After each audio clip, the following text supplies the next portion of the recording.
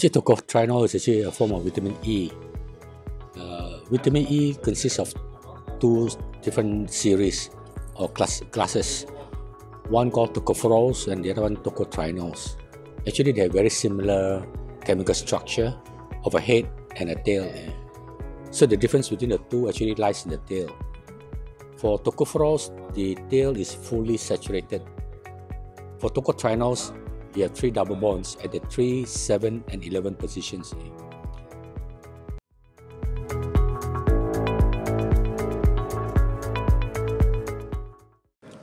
So, all this while, if you were to buy a vitamin E product in the market, uh, you only get tocopherols, and usually only one alpha tocopherol.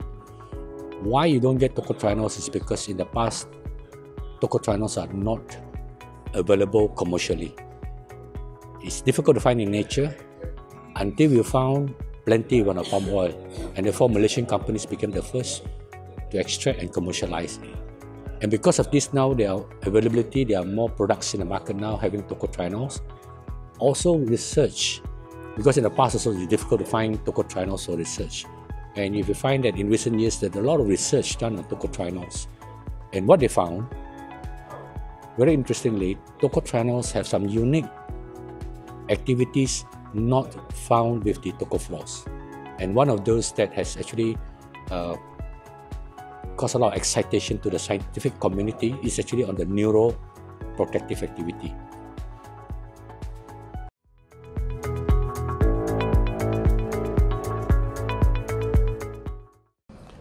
It all started in Ohio State University where they found that it can prevent nerve cells under culture from dying when challenged with glutamate. And glutamate is the toxic chemical signal released during a stroke. Then they went on to do on rats, induced stroke in rats. So with and without tocotrienol, they found that those given tocotrienol, when they induce a stroke, the damage is smaller than those without tocotrienols. Then they went further to do on dogs again. Similarly, they found that those given tocotrienols, if you induce stroke in them, the damage is much smaller, significantly smaller than those on toco, uh, not given tocotrienols.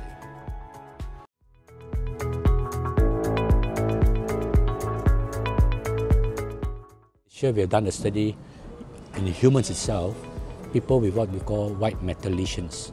Now, what, what are white matter lesions? You see, our brain, uh, you need a lot of energy, and therefore the brain is supplied by a massive network of blood vessels.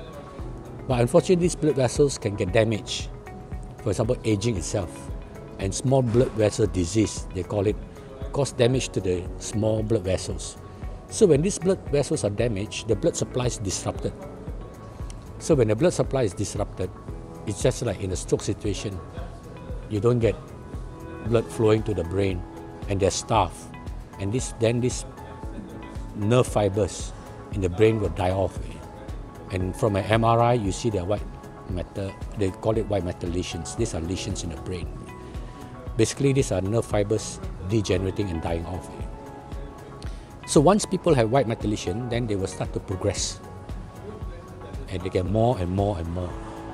So what we did is, we have two groups, one given tocotrienols, one placebo. Study was double blind, we don't know who is given what. Even the volunteers, they won't know what they have been given. So we MRI at one at baseline, one year and two years. And then we see how the lesions grow. And very interestingly, those on tocotrienols, on average, we find that the lesions are stabilized. Those on placebo, they start to grow bigger and bigger, like what has been reported by other researchers. So based on that, it proves this is the first human study to show that the tocotrienols indeed can protect your brain cells.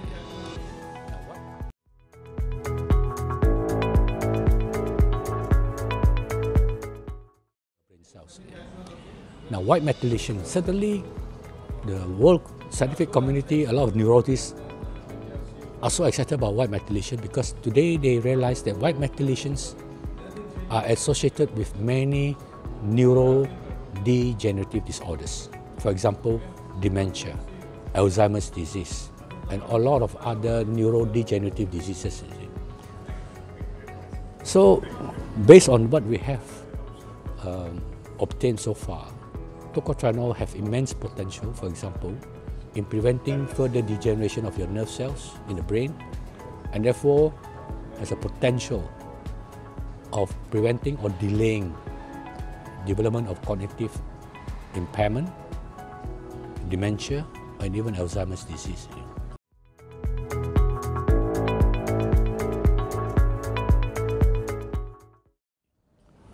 Now in my lab, I have this little worm called C. elegans, and I have a transgenic version of it, where the human genes have been, or disease gene has been inserted into the worm.